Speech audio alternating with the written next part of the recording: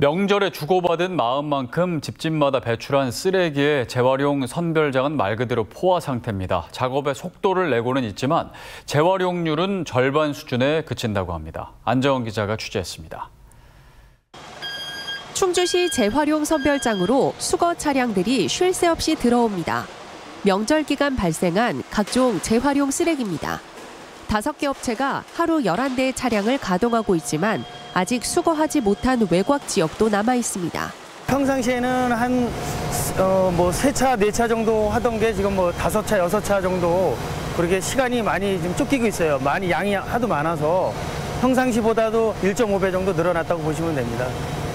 특히 눈에 띄게 늘어난 건 명절 선물을 주고받던 스티로폼 상자입니다. 수거량이 워낙 많다 보니 선별장에 한가득 쌓였습니다.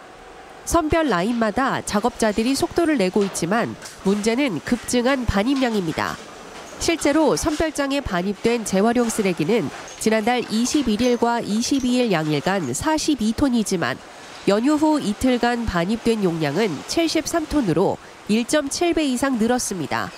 충주시 재활용 선별장에서 하루 처리 가능한 용량은 23톤. 연휴나 축제 등 약간의 변동성만 발생해도 수시로 한계 용량을 넘어서고 있습니다. 기존의 시설 가지고는 아, 다 전체적으로 다 처리하기가 굉장히 애로사항이 있습니다. 그래서 지금 안 그래도 충주시에서도 아, 두 배로 증설할 계획을 가지고 있습니다. 넘쳐나는 배출량에 비해 낮은 재활용률도 문제입니다.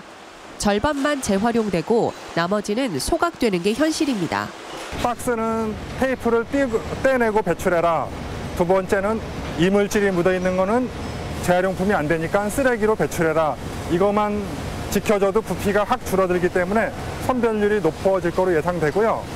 재활용 배출량을 한순간에 줄이기는 어렵지만 배출 방법만 잘 숙지해도 자원 재순환에 동참할 수